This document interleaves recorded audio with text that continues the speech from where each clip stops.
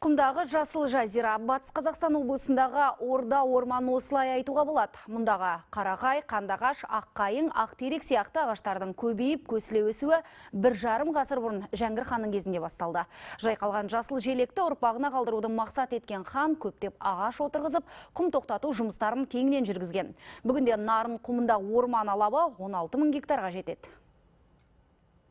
Жон-жон болған құм жоталарда қаңбақ пен жыңғылдан өзге өсімдікті көру ғажап құбылыс. Алтын түстес төбелер алуан ағашқа толы. Қарағайдан бастап қарағаш, қандағаш, аққайың, ақтерек, емен, шегіршін, шөлейтті аумақта жайқалып өсіп, құмның жылжуына тосқауыл болып тұр.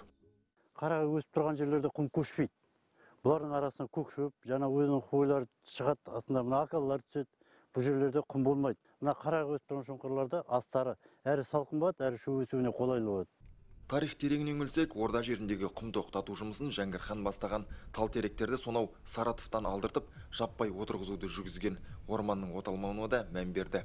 1842 жылы Жәңгір ханның өзі арнайы бұйрық шығарып, осы жерлердегі малдардың барлығын ерте көктемде далаға шығарып және қара күзге дейін яғни малды ауылға кіргізбеген болатын яғни сол 42 жылдың өзінде арнайы кондукторлар тағайындап осы орманды қадағалап қарап отырған Бүгінде бабалардан мұра болып қалған жасыл желекті бәғіп қағумен орда орман шаруашылығы айналысады. Басты назар қарағай орманын арттыруға бағытталған. Осы мақсатта жыл сайын 30 мың түп жас көшет отырғызылады. Қыста дейтін шишкасын жинаймыз.